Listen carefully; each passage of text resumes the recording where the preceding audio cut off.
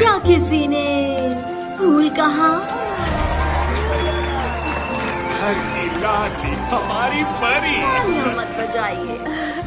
Thank you ये तो कुछ भी नहीं। तुम्हें एक फ्री एडवाइस